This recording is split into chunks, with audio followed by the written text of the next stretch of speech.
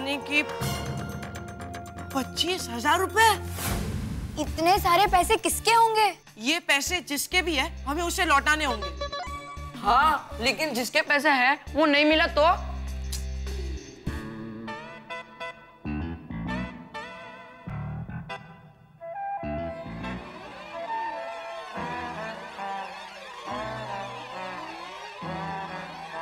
कमाल है। स्कूल तो कब की छूट गई अभी तक सोनू घर पे नहीं आई। अरे माधवी मेरा जरा मोबाइल लेते हुए आना प्लीज़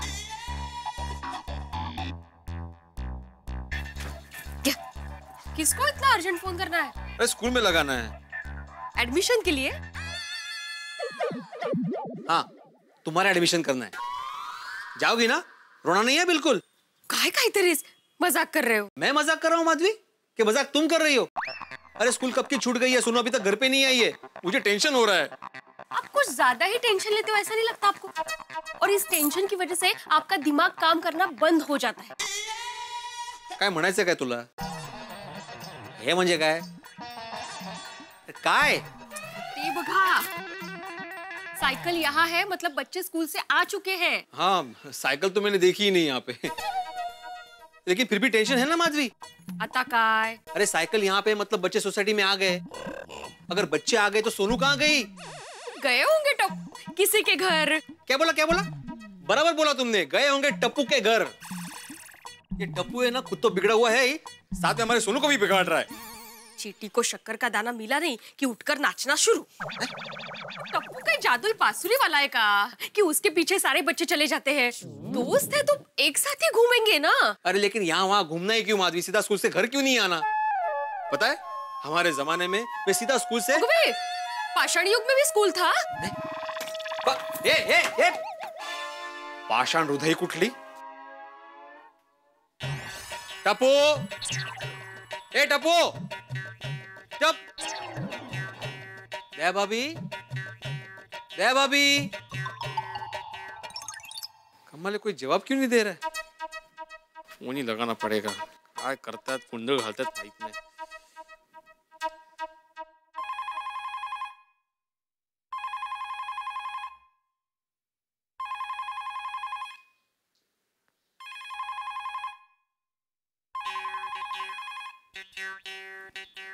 फ़ोन भी नहीं उठा रहा है कोई।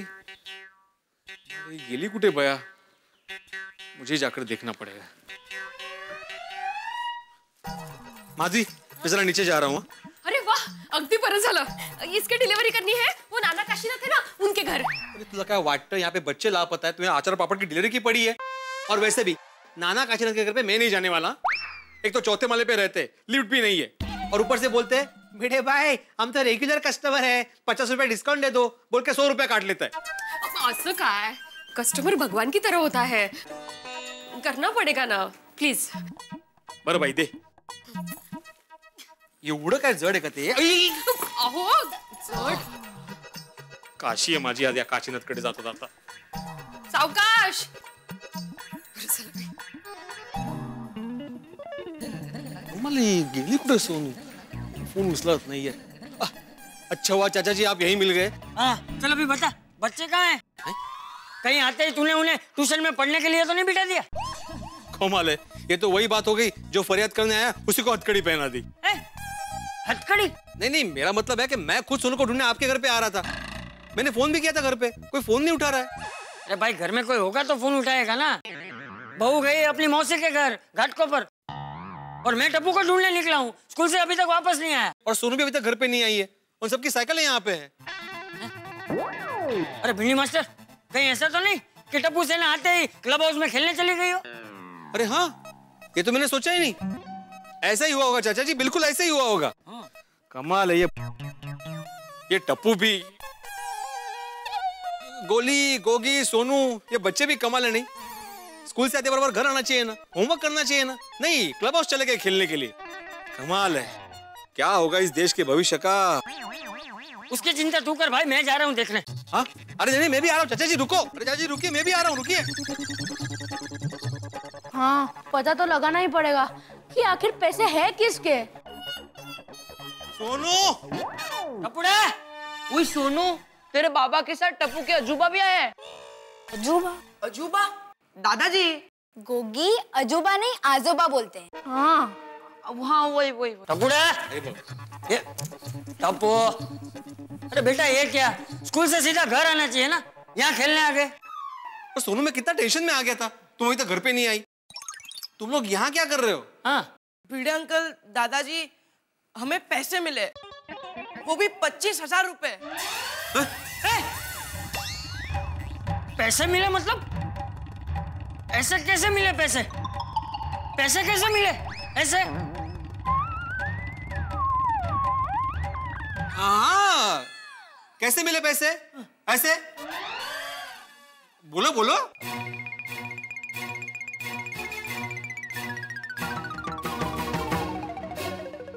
देवा पच्चीस हज़ार रुपए? अरे वाह टप्पू सेना। पच्चीस हज़ार है? ये पैसे तुम लोगों को मिले।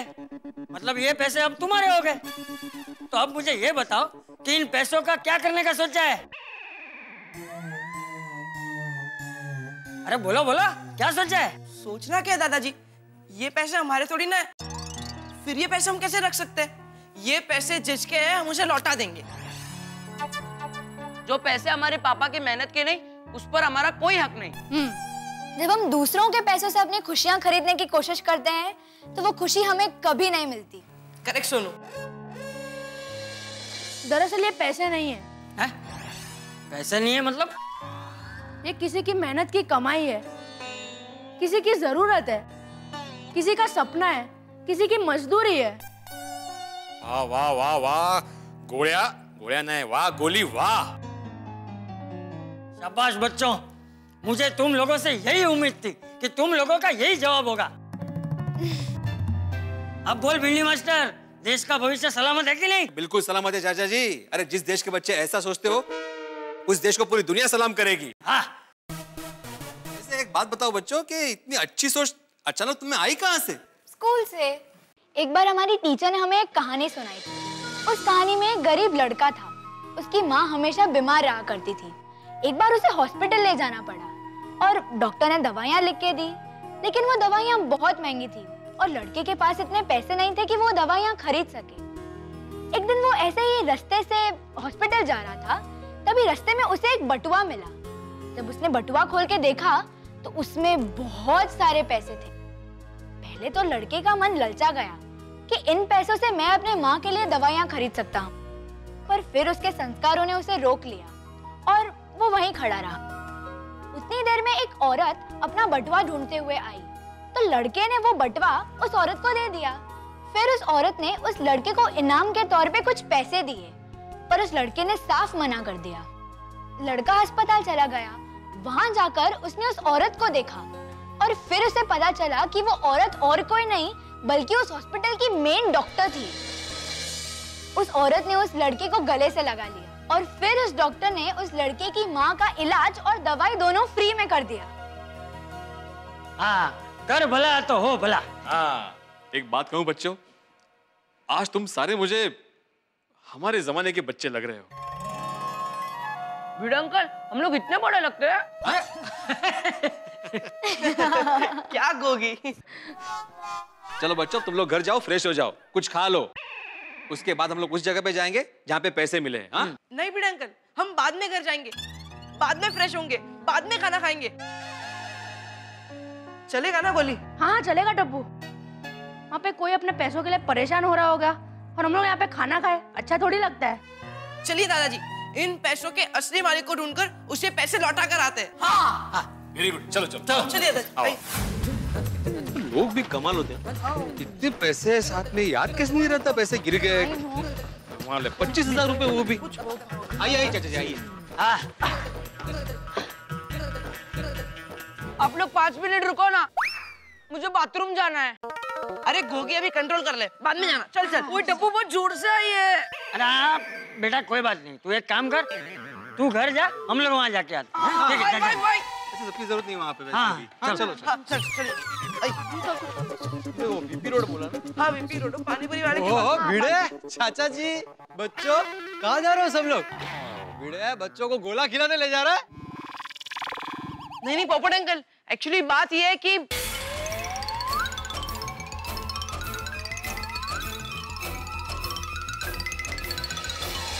वाह वाह वाह बच्चों बहुत अच्छी सोच है। चलो मैं भी आप लोगों के साथ चलता हूँ। हाँ चलिए चलिए पोपट चलिए। हाँ चलिए चलिए। आइए आइए आइए। देखो यहाँ पर। किस तरफ़ मिला था? यहाँ पर यहाँ पर यहाँ पर। ये देखिए। यहाँ पर मेरे दो पैसे। यहाँ? हाँ। तो मेरे ख्याल से ऊपर डाल ऊपर पेड़ पे क्या देख रहे हो? मैं सोच रहा था कि कोई आदमी ऊपर बैठा होगा उसकी जेब से नीचे गिर गए होंगे। क्या बोल रहे हो? बेटा ऐसा थोड़ी होता है। नहीं नहीं, बिल्कुल नहीं। मैं क्या कहता हूँ? हम लोग यहीं रुकते हैं। मुझे लगता है कि जिसके भी पैसे हैं, वो यहाँ ज़रूर आएगा।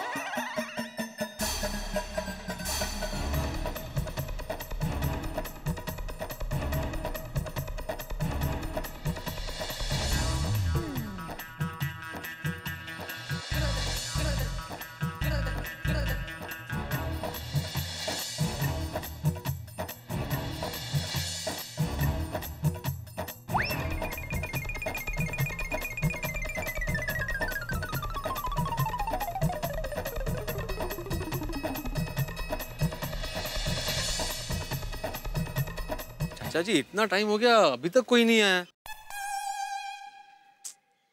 अच्छा बच्चों तुम लोग अभी घर जाओ फ्रेश हो जाओ कुछ खा लो और होमवर्क करने बैठ जाओ। हम लोग पैसे लौटा कर वापस आ जाएँगे हाँ? जाओ। नहीं नहीं भिड़े अंकल हम लोग होमवर्क बाद में कर लेंगे। पहले जिसके पैसे उसे दे दे बाद में पानी पूरी खाकर ही घर जाएँगे। हाँ हाँ क्या हाँ। गोया पानी पूरी कल खा लेना अभी घर जाओ हाँ? चला सुनो चला। नहीं नहीं हम लोग रुकते ना प्लीज़ प्लीज़ तो हो जाएगा ना भिड़े अंकल टप्पू बच्चों घर जाओ। ठीक है दादाजी। भिड़े अंकल हाँ ये लीजिए। चलो फ्रेंड्स चलो।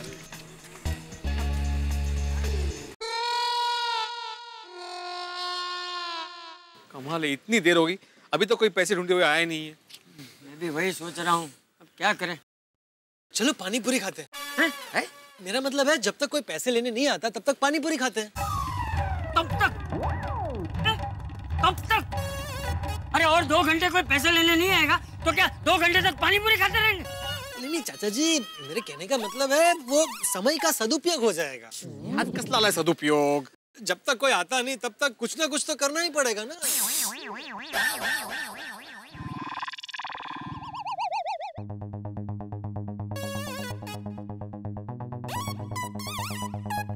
बार बार ऊपर क्या देख रहे हो पोपटलाल? अरे भाई अभी कुछ गिरा ऊपर से वो देख रहा हूँ।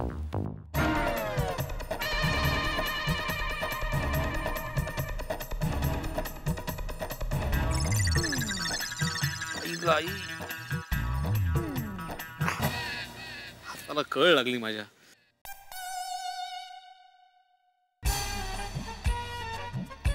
ए, वो देखो देखो। एक आदमी यहीं आ रहा है कुछ ढूंढते हुए आ रहा है देखो। हाँ। शायद ये वही हो सकता है।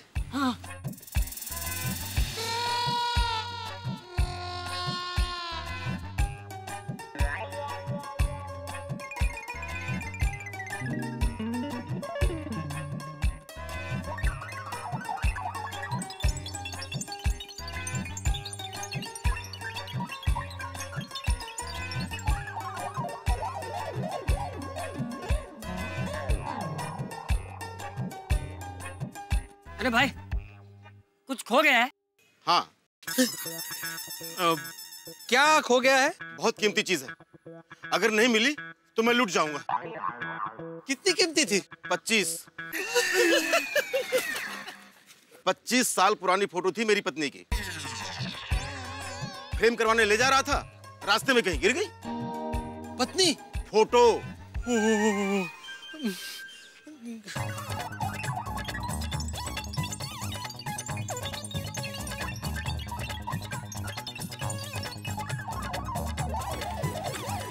डिब्बे।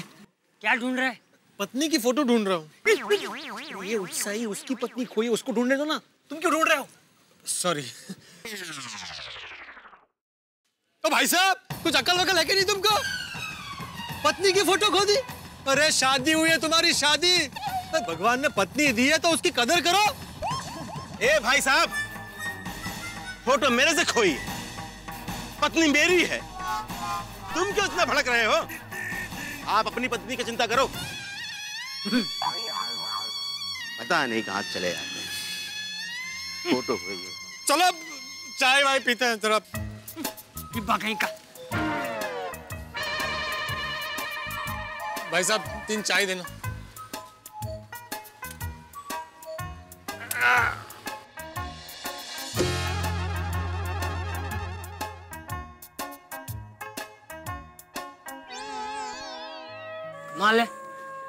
जिसके पैसे गिर गए उसे कोई चिंता ही नहीं है। हो सकता है बहुत पैसे वाला हो। पच्चीस हज़ार की उसके लिए कोई वैल्यू ना हो। ऐसे भी लोग होते हैं? हाँ भाई।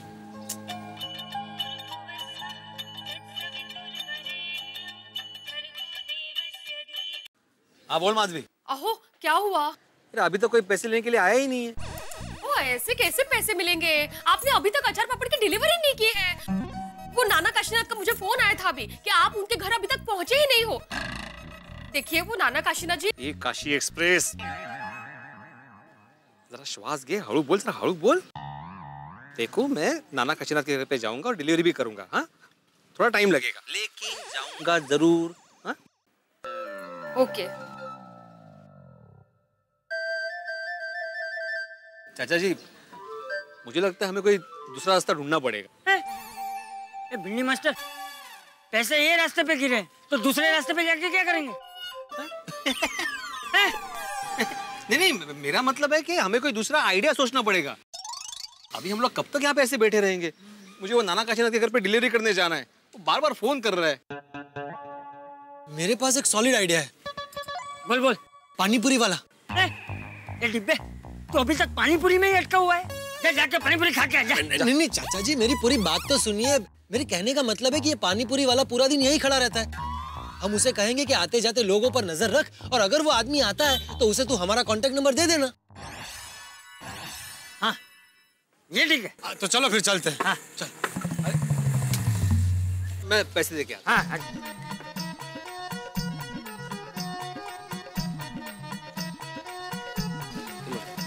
अरे चलो ना भाई भिड़े कहाँ रह जाते हो? अरे पैसा कौन देकर चाहेगा ओ हाँ हाँ हाँ कमाल है। ओ, भाई साहब कहिए साहब कितनी प्लेट लगाऊँ? नहीं नहीं पानीपुरी नहीं वो आपसे एक दूसरा काम था। क्या है हमें कुछ देर पहले यहाँ पे कवर में पैसे मिले। वो जिसके हमें उसे लौटाने। तो लौटा दीजिए मुझे क्यों पूछ रहे हो? अरे भाई तुम्हारी कोई परवानगी थोड़ी मांग रहा है। पूरी बात तो सुनो। चाचा जी एक मिनट एक मिनट मैं मैं मैं मैं मैं मैं बात करता हूँ। देखिए भाई साहब आप यहीं रहते हैं। नहीं नहीं मैं घाटकों पर रहता हूँ। नहीं नहीं मेरा मतलब है कि आपकी दुकान तो यहीं लगती है ना।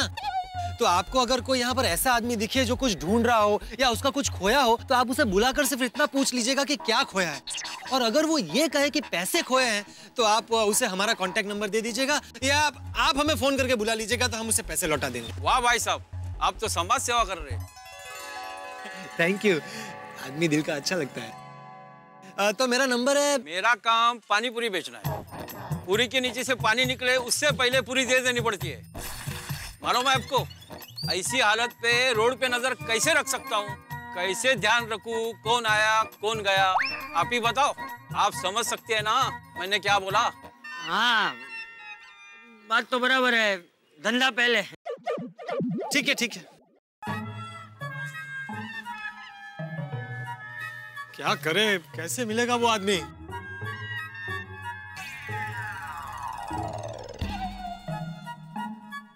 आइडिया। वो बोर्ड देखिए।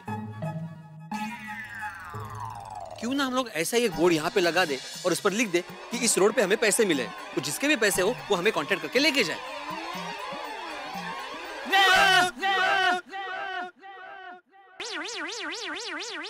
भाई साहब आपको पैसे मिले हैं?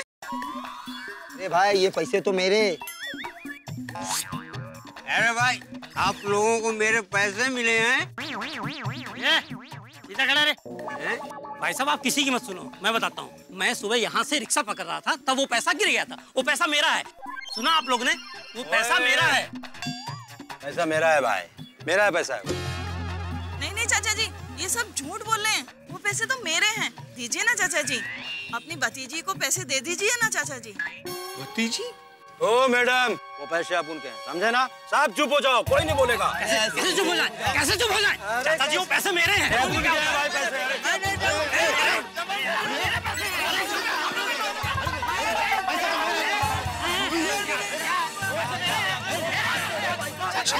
हिंसा नहीं हिंसा नहीं ये क्या हो रहा है चाचा जी